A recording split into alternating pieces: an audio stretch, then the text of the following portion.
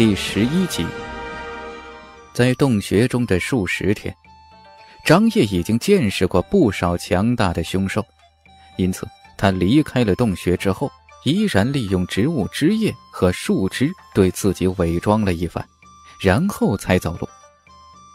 这一走，就是十多天。在蛮兽山脉外围走了十多天。张烨除了碰上形形色色的凶兽之外，也碰上过几个武者。这些在外围转悠的武者，修为大都和张烨差不多，是武道二重天的实力。不过，也有一小部分的人实力高到看不清。张烨推测，这些人应该是武道三重天的高手。张烨见到这些人全身都是一身杀气，于是远远的避开了。他的体位被掩盖，又经过伪装，动作又向来是小心翼翼，倒也没有人发现。这日，张掖斩杀了一头大灰狼，大灰狼的皮毛颇为值钱。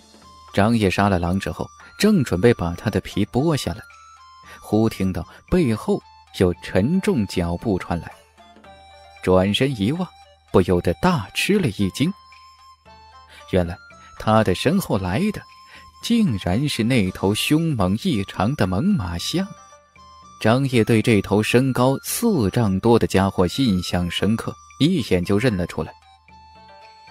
他妹子的，这头家伙不会是看中了这头大灰狼吧？张烨心里想着，身子赶忙移到一边去。这头猛犸象个头明显比一般的大，实力明显也是比普通的猛犸象强得多。张烨现在虽然实力提升了不少，但还是不敢招惹这头怪兽。张烨正准备远离这头大家伙时，这头猛犸象却似是受了什么刺激，直直的朝着张烨追过来。猛犸象身躯庞大，看上去很是笨重，但跑起来的速度绝对不慢。张烨跑出了数里之后，竟然还是甩不掉它。他妹子的，我不施展一点厉害手段，这畜生还以为我怕了他。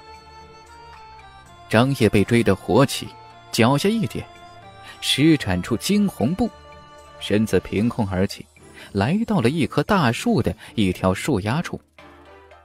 待那头猛犸象追近时，他一跃而下，手中的断刀直往猛犸象的尾部砍去。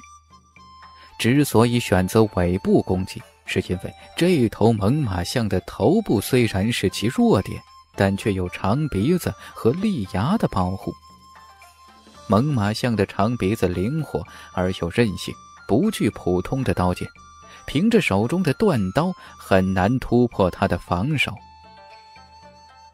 尾部是猛犸象照顾不到的地方，张掖一刀破下去，砍了个正着。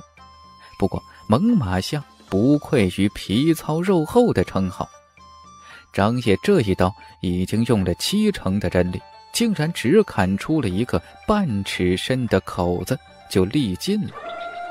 张掖的突然袭击惹怒了这头庞然大物，猛犸象大吼了一声，尾巴如同一根铁棍般对张掖扫了过来。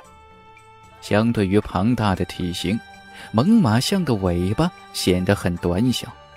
但这个短小是相对于猛犸象的身体来说的，对于张烨来说，这条突然扫过来的尾巴足有碗口粗，一扫之下劲风呼啸，气势惊人。张烨不敢硬挡，站在猛犸象的背上，将身子一蹲，正好躲过了这一扫。张烨躲过了象尾的凌厉一扫，正准备找一个皮薄一点的地方砍上几刀时，猛犸象又出招了。他那看似笨重的身子骤然间一掌一抖，猝不及防之下，张烨瞬间就被抛到了空中，体内气血都剧烈翻腾，在空中。张烨分明看到了这头庞大的猛犸象眼中那皎洁的眼光。奶奶的，这头家伙看起来身粗体大，笨重迟缓，一副憨厚相。谁知道竟然会如此的狡猾，有如此多的招啊！张烨心中暗惊，正欲落到一棵树上逃跑时，这头巨大的猛犸象再次出招了。长长的鼻子打了个响鼻，然后对准了张烨，一喷，一股半透明的液体从猛犸象的鼻子中喷了出来，速度之快，堪比箭支。看着这头猛犸象的攻击，张烨心里更加的郁闷。这个畜生的攻击时机实在是太好了，他是看准了张烨就力已尽、心力未生的时候才出手的。好一头狡猾的畜生，简直就像是一个老谋深算的人。唰！张烨无法躲闪过猛犸象喷过来的半透明液体。只好出刀将喷过来的液体劈开。他在瀑布之下练过拳，对于怎么劈开液体，心里颇有分寸。一刀劈出，看似凌厉的刀势，却带着一种卷泄之力，正好将透明液体分到了一边去。虽然大部分的透明液体被卷到了一边，但还是有几点落到了身上，渗入到皮肤上。张烨顿时感觉到一阵的剧痛，在这头猛犸象手上连连吃亏。张烨心里惊骇的同时，也暗暗发狠：这畜生让我如此狼狈，我就算杀不了他，也要砍上他几刀再走，否则心里一口气难以平复。主意打定，张掖寻了一个机会，落到地上，抄起地上的一块石头。用力将石头朝着这头猛犸象扔去，然后飞快走人。以猛犸象的庞大身子，就算被张烨斩上数十刀也不会致命。区区的一块石头更是伤不了他了。不过，张烨这种挑衅的动作顿时激怒了他，他怒吼了一声，紧紧地跟着张烨。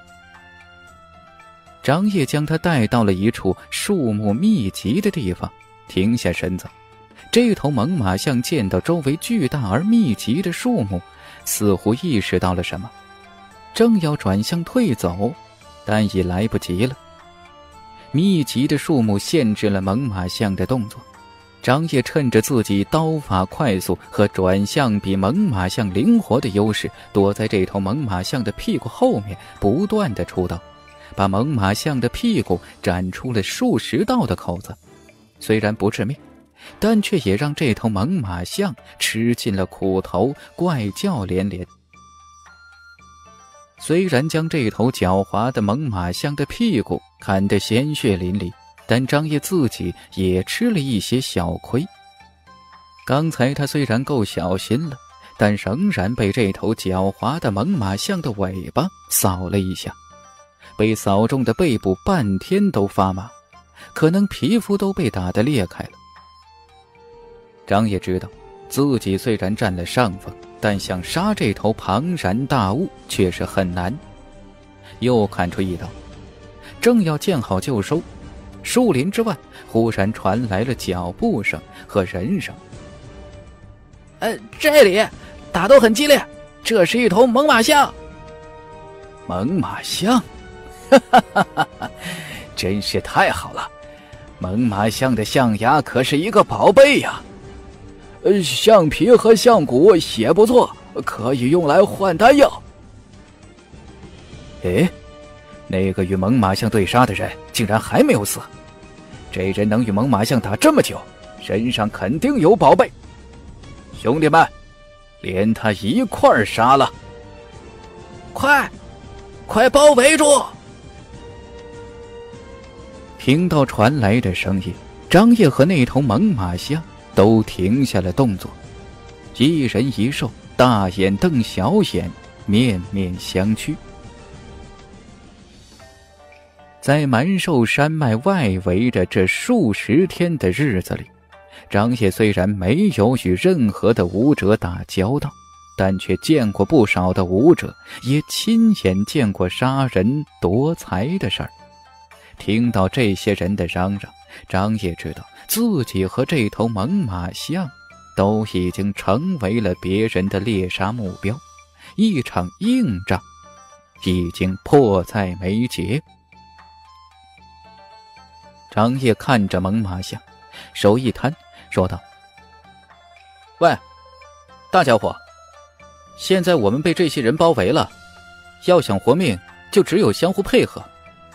等下你出手牵制住他们，我在一边伺机猎杀，明白吗？”说完了，张烨摸了一下额头，忖道：“我真是糊涂了，居然与一头猛犸象谈合作。这家伙虽然有些智慧。”但野兽毕竟是野兽，哪里听得懂这么复杂的话呀？正在暗骂着自己，却见那头猛犸象晃了一下脑袋，朝着张烨咯咯的低吼了两声。张烨一惊，盯着猛犸象的眼睛，不敢置信的说道：“你，你听得懂我说的话？”猛犸象大眼睛中露出了一丝傲然之色，像人一样点了点头。老天哪！张烨惊得目瞪口呆，想不到这头畜生居然真的听得懂我的话。这么大这么笨的一头畜生，竟然能够听得懂人类的语言，这世界真是疯狂！猛犸象瞪着张烨，不满的低吼了两声，似乎在抗议张烨刚才说的话。好，好，好！感觉到这头猛犸象的不满之意，张烨也不敢说他的坏话了，说道：“现在对方人太多，实力比我们强的高手只怕都有，我们落在他们的包围圈中，想跑都跑不掉。现在，我们要想活命，就要先斩杀掉对方的高手。我现在有一个主意，我藏到你的肚底之下。”你出手牵制住对方的时候，我再出来一举斩杀敌人。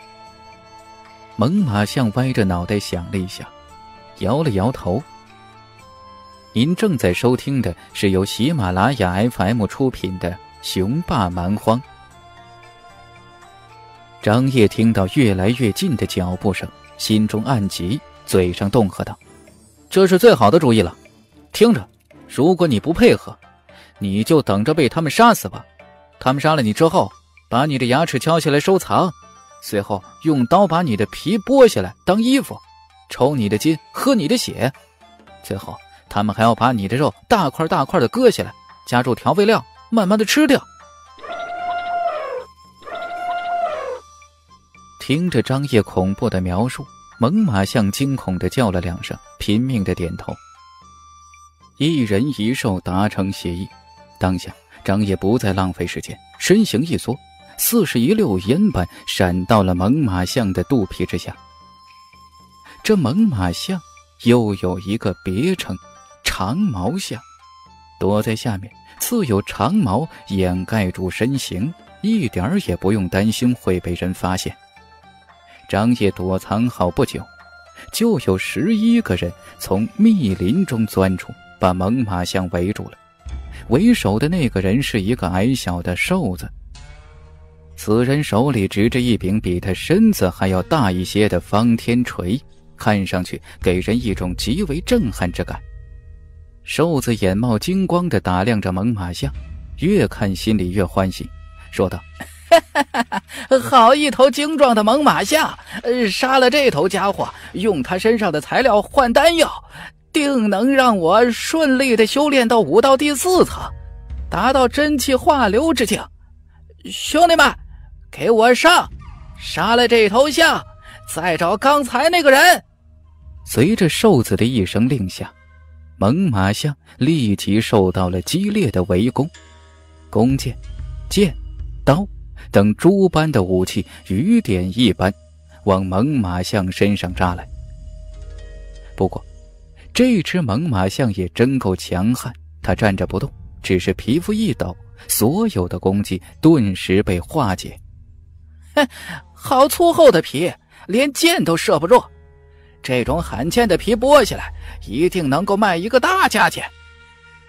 大家伙，站着不要动，让我砍死了你吧！哈哈哈哈哈哈！为首的那个瘦子怪叫了一声。提着大锤腾空而起，一锤往猛犸象的大脑袋砸下去。瘦子这一锤显然运用上了某种武技，出手之时风声呼啸。即使藏在猛犸象肚皮下的张掖，也能够感觉到这一锤的威力。猛犸象显然也知道这一锤的厉害，他打了一个响鼻，他长长的鼻子扬了起来，鼻子中噗噗噗的接连喷出了五六道的半透明液体，每一道都极快如箭，往空中的瘦子射去。这种不知名的液体虽然没有剧毒，也没有强烈的腐蚀作用，但如果沾上一点，全身都会痛彻心扉。先前张掖就吃过这样的亏。瘦子发出一阵嘿嘿的怪笑，空着的那只手一挥，空中气流涌动，顿时将那几道半透明液体集散。他这种空手发出真气的本领，正是武道三重天中的真气离体。武者进入武道三重天之后，就可以将体内的真气发出到体外来伤人，正是可以将真气离体伤人。五到三重天的实力，比起五到二重天要高出数倍之多。那个瘦子真气离体之术用的轻松自如，其真正的实力显然比那个周玉涛还高得多。